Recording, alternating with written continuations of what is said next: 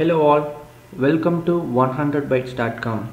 In this video I'm going to show how to create a WebLogic admin server, manage servers, cluster of managed servers and a node manager. A node manager is a WebLogic server utility which is used to start and stop the admin server and manage servers remotely. So before I show how to create a WebLogic servers, I want to give a brief overview about how these servers and cluster sits in the domain let's say like uh, like I have a machine called an A uh, like uh, where let's say I'll call it as an A. Okay before going into this uh, like once you install the WebLogic server uh, these admin server managed servers all resides in an entity called a domain. So I'm going to draw a domain as a one more box inside this. So in inside the domain where we have a multi uh, multiple managed servers and admin server so this is my admin server which is I'm going to mark it as uh, some cross and the multiple managed servers like these are like let's say I'm going to create a five managed servers in in this domain actually okay? So uh, to make it clusters we need to combine a more than one managed server or you can have a one having a uh, like a cluster with one managed server but that doesn't make sense. Here I'm going to make it as a two managed server as a single cluster so this is my cluster which has two managed servers. And uh, node manager is a utility which resides in a like a domain which is used to start and stop this uh, admin server and managed servers remotely. Okay uh, this domain as i said like these uh, servers resides in, the, in an entity called domain. But this domain have a can also extend extend across the machines. Let's say i have a machine uh, b. So like this uh, so this same domain can extend to the machine B. So where I am going to create a couple of uh, some more uh, manage uh, some more managed servers actually. So like these these are the things I'm going to create it. So these four managed servers created. And have a and WebLogic server has provided a uh, like an option to combine the managed server across the machines to form a cluster. So in this case I'm going to combine these two servers in a single cluster so here actually this cluster is like run between uh, two machines A and B where these uh, like two managed servers are there but these are a part of a single WebLogic server domain. For this tutorial I'm going to create a five managed server and one admin server two clusters like a uh, admin server and uh, managed server 1 managed server 2 resides in a cluster 1 minus over 3 minus over 4 resides in a resides in a cluster 2 and minus over 3 which, which will be alone. So these are the things we are going to create. So let's move on to how to create the uh, this WebLogic server. So like uh, before uh, before create before creating a WebLogic server we have to install a, a jar file uh, which is called a which is called which is the middleware uh, binaries. We we have to uh, locate in the oracle website. You have to download and install it. I'm going to skip that part because that is very straightforward. Uh, like once you installed it you will find in, this is the path like so in this case i have installed uh, like the middleware under oracle folder. That is equal and oracle middleware oracle home so here you will find a bunch of folders. So like oracle common user project wls server majors. So here the user project is the there where our domain resides that is like WebLogic server resides.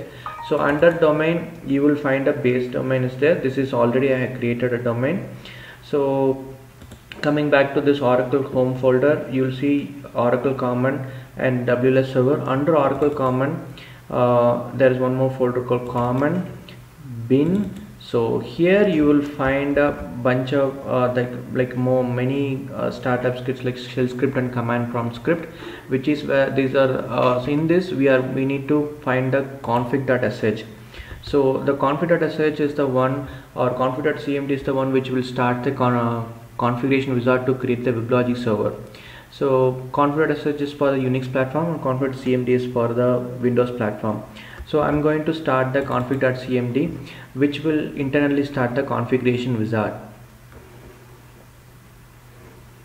So this is the starting screen of the configuration wizard. So I'm going to create a new domain. So if you want to update an already existing domain that is you want to change any modification to that domain you have to select this and you have to select your domain whatever you want uh, and after you have to do modifications. But in this case we are want to create a new domain. So I, I selected the new domain and I'm going to give the domain as like my as a test domain. Okay? Then click next. So this is the screen where uh, it will shows all the applications like enterprise manager oracle web services manager and etc but we are for this video we are going to stick together with the basic WebLogic server domain. Uh, so that is default by selected and I'm and I click the next button. So that will take to the next screen called administrator account. This is the screen uh, like where we have to configure the WebLogic server administrator. Uh, the username is WebLogic by default it comes. I'm going to stick together stick to WebLogic. So the passwords I'm going to enter and then click next. In this screen you can configure whether you want to have a domain mode or development mode or production mode and the JDK if you want to select other JDK uh, you can browse and go for to select other JDK but I'm going to stick together with the whatever JDK comes from this. And this JDK is picked up from your machine uh, that is environment. So next screen. And this is the advanced configurations. So like uh, if you don't want to create any managed servers like uh, like for a, some development perspective uh, just you want to go with one a single admin server you just click next and create uh, but in for our purpose for this video we want we want to create a multiple managed servers node manager. And also I'm going to show how to change the port of admin server from default. So for that I'm going to select admin server to create a node manager. This is to create a managed server and clusters. Okay. So this is an admin server configuration. So this is by default it comes with 7001 so during installation time I'm going to change it to 8001 itself and if you want to enable SSL port you can enable but I'm not going to enable. So the next screen is for node manager. So for this node manager I'm going to select no, per domain. I want the no, one node manager. So this is uh, my admin of a node manager and uh, and the password for this node manager uh, node admin actually. And this is the screen where I'm going to create a multiple that is five managed servers. Like uh, the server name I'm going to change to manage server 1 but in this case I want to listen to all the local addresses or if you want to change only particular address or whatever it is you can change it to here. And uh, what is the listen port? If you want to change it to 8003 also you can listen port to 8003 or other I'm going to stick with 7003 itself. And this is to enable the SSL uh, so if you want to enable SSL you can enable SSL and uh, manage server 2 similarly you can create a like a more than uh, like five managed servers basically.